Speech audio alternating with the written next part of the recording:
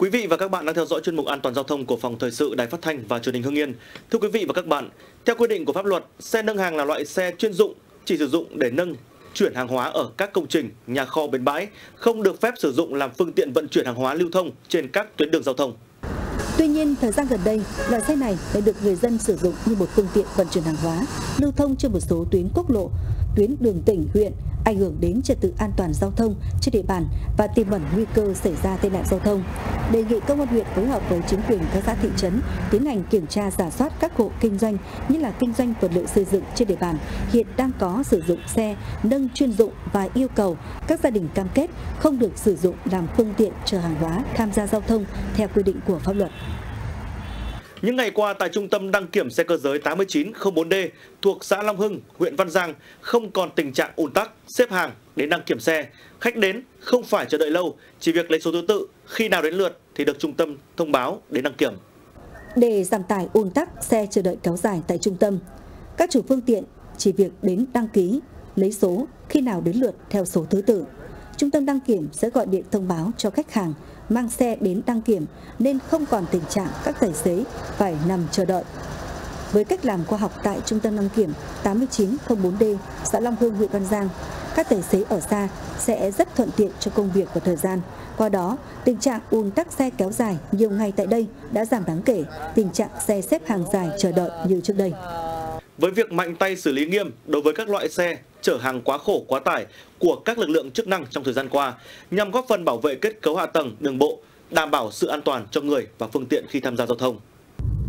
Theo phản ánh của người dân, thời gian qua trên địa bàn tỉnh, tình trạng xe ô tô vận tải có tải trọng lớn chở vật liệu như cát sạn, xi măng lưu thông khá nhiều. Các phương tiện trọng tải lớn chở quá khổ quá tải, vượt tốc độ, không che chắn, làm vương vãi đất cát gây ô nhiễm, mất an toàn giao thông, đã gây bức xúc trong nhân dân.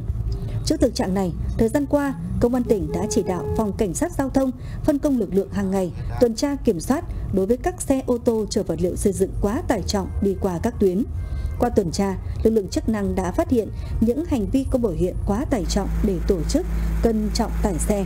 Qua đó, sau một tháng gia quân, các tổ đã xử lý 45 xe quá tải trọng, xử phạt gần 400 triệu đồng. Nhờ đó tình trạng chở quá tải trọng, không che phủ bạt qua địa bàn tỉnh đã cơ bản được giải quyết để đảm bảo trật tự an toàn giao thông. Chúng tôi à, sẽ xử lý nghiêm những cái à, à, xe quá tải để làm đảm bảo trật tự an toàn giao thông, không những trong thời gian cao điểm mà xuyên suốt từ giờ đến cuối năm. Mặc dù vậy, một số chủ xe lái xe vẫn cố tình vi phạm, nhất là vào thời điểm ngoài giờ hành chính khi không có lực lượng chức năng tuần tra kiểm soát, nhất là địa bàn trọng điểm như quốc lộ 5, quốc lộ 39, quốc lộ 38, quốc lộ 38B, đường 378, 379. Việc người tham gia giao thông chở hàng hóa quá tải, sử dụng rượu bia khi tham gia giao thông cần được xử lý nghiêm. Trong thời gian qua thì đội đã tổ chức tuần tra kiểm soát khép kín 24 24 trong đó thường xuyên tổ chức kiểm soát về nồng độ cồn và ma túy. Ngoài ra thì ờ, tổ chức tuần lưu xử lý đối với xe quá khổ, quá tải. Và lập chốt kiểm tra đối với phương tiện vi phạm chạy quá khổ quy định để tiếp tục nâng cao hiệu quả quản lý nhà nước trong lĩnh vực đảm bảo trật tự an toàn giao thông, đẩy mạnh tiến độ tập trung xử lý các điểm đen, điểm tiềm ẩn tai nạn giao thông.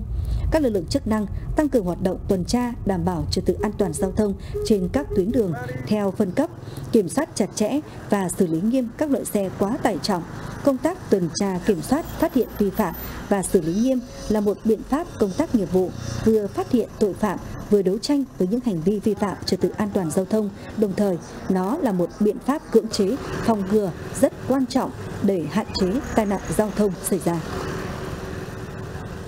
Chuyên mục An toàn giao thông do Phòng Thời sự Đài Phát thanh và Truyền hình Hưng Yên phối hợp cùng Ban An toàn giao thông tỉnh thực hiện đến đây xin được tạm dừng. Xin kính chào và hẹn gặp lại quý vị trong chương trình lần sau.